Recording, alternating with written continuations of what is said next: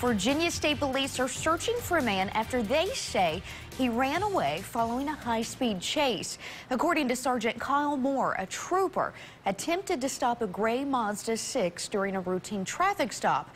The male driver of the vehicle sped off on Route 311 going towards White Sulphur Springs, West Virginia. Once in West Virginia, the driver turned around and headed back to Virginia.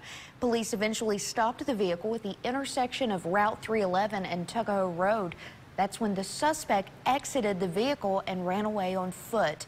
Moore says a canine search dog from the Alleghany Sheriff's Office was called to the scene, but the suspect was not located. Greenbrier deputies of West Virginia are assisting with the investigation.